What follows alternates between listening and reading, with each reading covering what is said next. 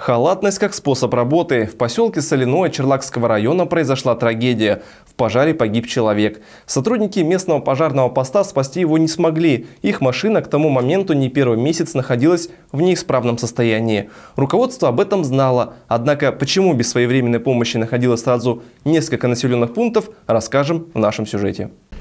В этом доме месяц назад во время пожара погиб человек. Огнеборцы из Черлака и поселка Иртыш приехали через 25 минут после сообщения о возгорании. К тому моменту хозяин уже был мертв. В самом поселке Соляно есть свой пожарный пост, однако на тот момент автомобиль уже два месяца находился в неисправном состоянии. Начать тушить пожар раньше не было возможности. Водитель выехал, увидел здесь, находится женщина возле двери, вот здесь именно.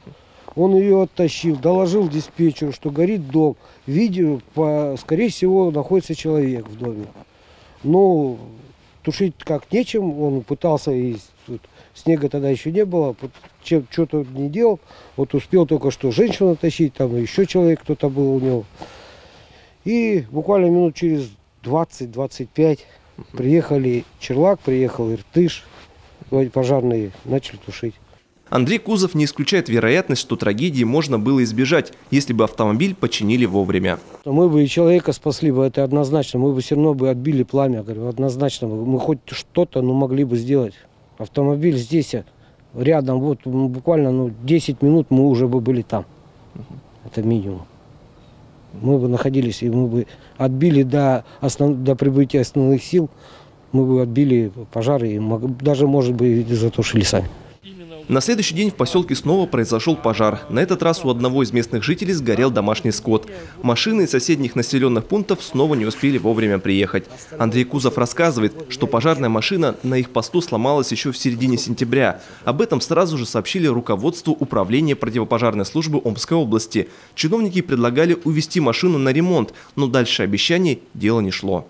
Я каждый день звонил, спрашивал, интересовался, когда, когда, когда. Нам, меня все кормили завтраками, то вот воду ищем, вот-вот готовим, то не знаем, что делать, как ее транспортировать, потому что у нас автомобиль, что пожарный его надо или на, на эвакуаторе возить, или технику хорошую надо иметь. Председатель правкома Андрей Панков рассказывает, что руководству докладывали неоднократно о необходимости срочного ремонта, но исправлять ситуацию там не торопились. Это нонсенс в пожарной охране, вообще в любой у нас в России, чтобы машина простояла два месяца без ремонта. Об этом знало руководство, об этом руководство предупреждали. Но никаких действий не предпринималось, пока не произошел вот этот очень печальный и ну, из рук вон выходящий случай. Абсурд ситуации заключается в том, что автомобиль починили спустя 4 дня после трагедии. И утром 17 ноября приезжает э, с отдела техники руководители, привозят э, головки, ставят. В течение суток автомобиль стал боевой расчет. А спустя еще неделю на пожарный пост приезжает комиссия для проверки. По ее итогам было решено наказать водителя Андрея Кузова, якобы за неудовлетворительное состояние пожарного поста. Недели две назад вышел приказ от Мамонова Алексея Анатольевича о том, чтобы наказать меня, строго предупредить по поводу бардака в помещении и неправильного ведения документации. Такой у них был разговор, что они хотели на меня повесить вот эту э, поломку автомобиля, чтобы я отвечал за нее. Председатель профсоюза тоже убежден, что таким образом руководство хотело найти крайнего в произошедшем. Не было никакого э, служебного расследования. То есть э, все нормы, скажем так, трудового законодательства в этом плане были нарушены. То есть никаких ни служебных расследований, никаких ни комиссий. Никто в итоге нам так и не сказал, какова была причина поломки.